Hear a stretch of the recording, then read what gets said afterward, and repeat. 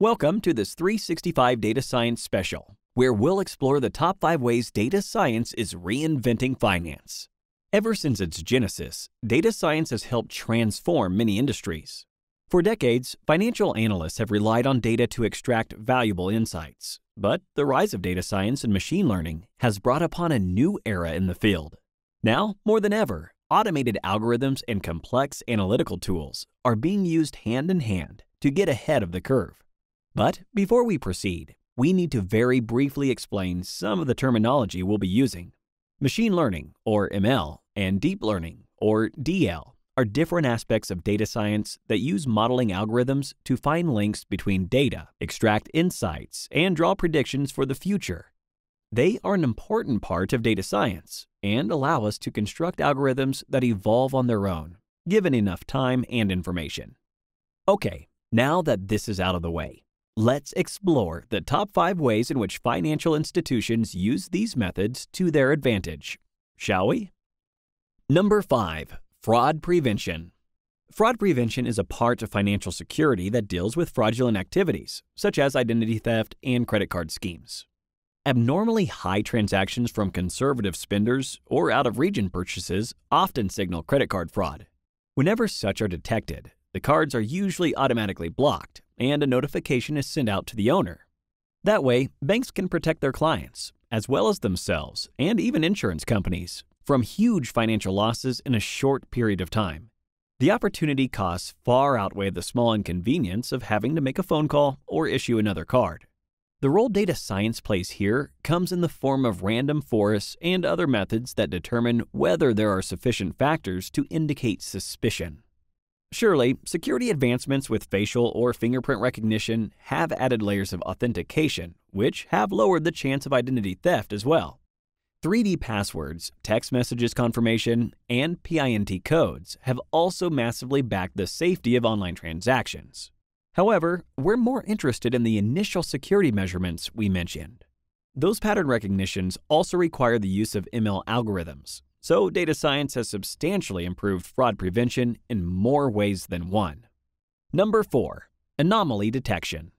Unlike fraud prevention, the goal here is to detect the problem rather than prevent it. The reason is that we can't classify an event anomalous as it happens, but can only do so in the aftermath. The main application of this anomaly detection in finance comes in the form of catching illegal insider trading. In today's financial world, it isn't always easy to spot trading patterns with the naked eye. Of course, any trader can strike gold and accurately predict the boom or collapse of a given equity stock occasionally. But there exist ways of determining what is out of the norm. Enter deep learning.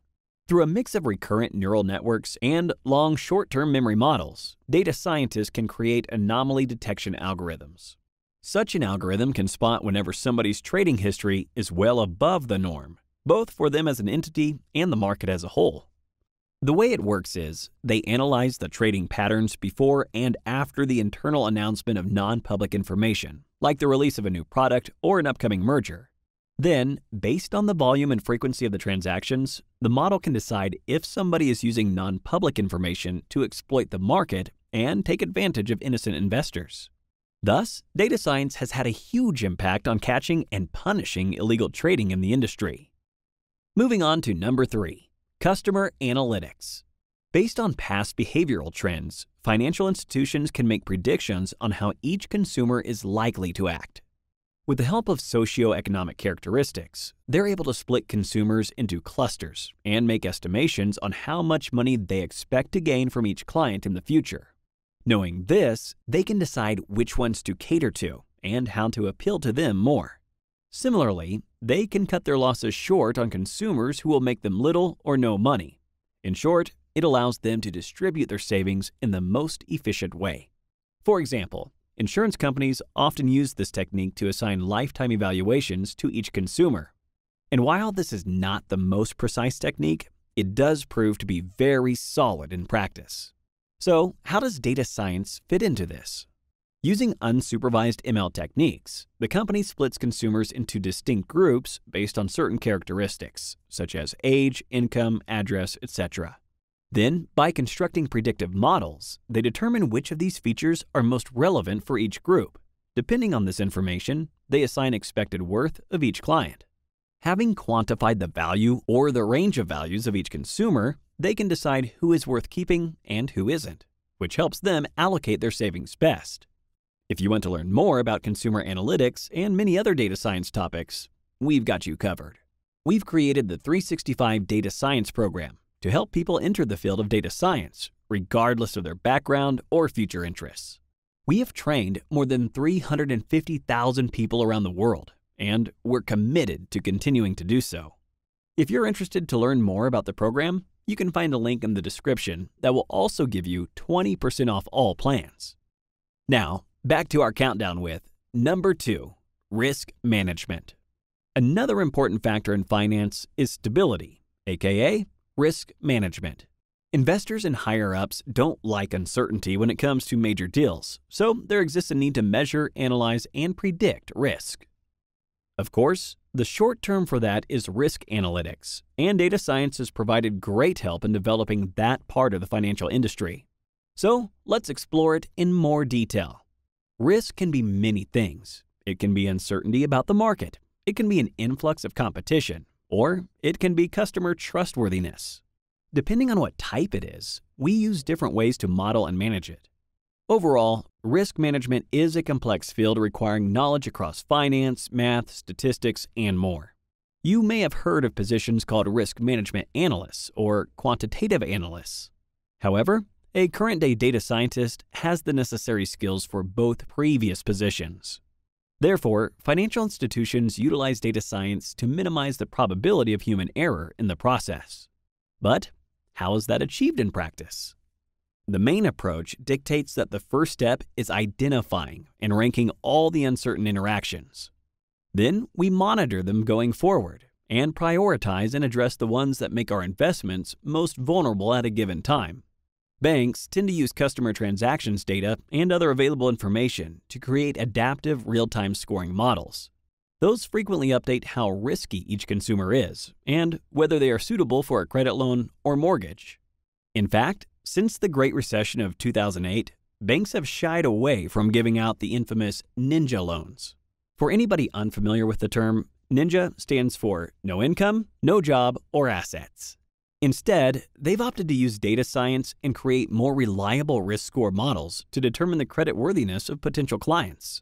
This just goes to show you how, through machine learning, the banking industry has evolved and effectively put a soft brake to prevent a potential repeat of the crisis.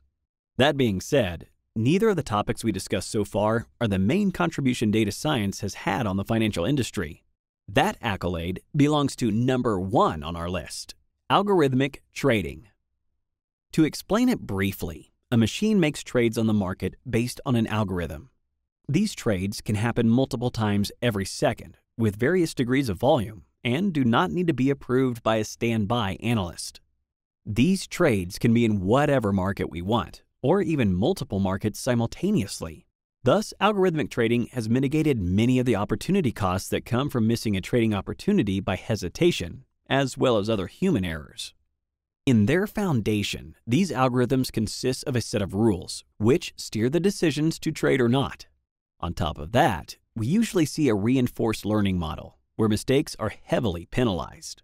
Based on how well the model performs, it adjusts the hyperparameters to make better estimations going forward. In layman's terms, the model adjusts the values for each rule based on performance.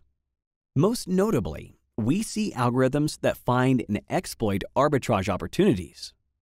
In other words, they find inconsistencies and make trades which lead to certain profits. The huge upside of algorithmic trading is that it can be high frequency.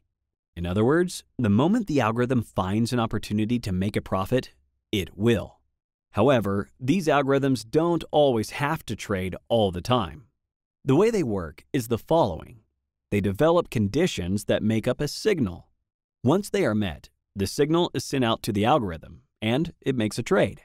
The requirements for these conditions are so well established that it takes fractions of a second between the signal and the trade to occur, so the process is essentially instantaneous. However, sometimes these conditions aren't met for months on end.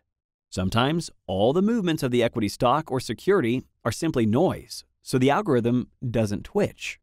This makes algorithmic trading so successful because it's not trigger happy and can wait out to make sure the moment is correct. A downside these algorithms used to have was that if they were imprecise, it could lead to huge losses due to the lack of human supervision. For instance, in February 2018, the price of Dow Jones plummeted after several trading algorithms interpreted a false signal. A devastatingly quick snowball effect emerged as other algorithms followed suit, and the stock price fell by $80 in mere minutes.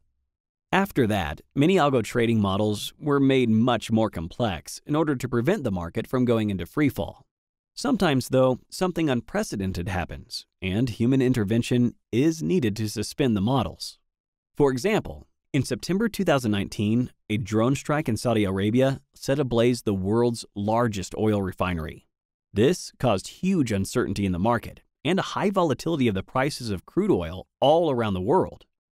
Since these events cannot be predicted, regardless of how well trained the model is, many investors tend to pause their trading algorithms. Even though huge gains can be made, so too can huge losses. As we already mentioned, CEOs are risk averse and prefer stability. Since the vast and fast development of such trading algorithms, the playing field is very much evened out when competitors have the same access to information. This makes arbitrage opportunities very scarce, since they are often exploited immediately. In turn, this has led to great efficiency in the market, so, hedge funds and investment banks need to look for an edge over the competition elsewhere. Here lies the latest change data science has brought onto the finance industry. Nowadays, data has become the hottest commodity that results in getting an edge over the competition. Financial institutions are spending huge amounts of money to get exclusive rights to data. By having more information, they can construct better models and get ahead. Thus, the most valuable commodities are no longer the analysts themselves or the quants that help design these algorithms, but the data itself. So, this is how the introduction of data science has truly revolutionized the financial industry. From leaps in security and loss prevention to automated trading models that decrease human error, we've certainly entered a new era for the industry. More than ever before, Data is the resource everybody is fighting over. If you liked this video, don't forget to hit the like or share button. And if you'd like to become an expert in all things data science, subscribe to our channel for more videos like this one. Thanks for watching.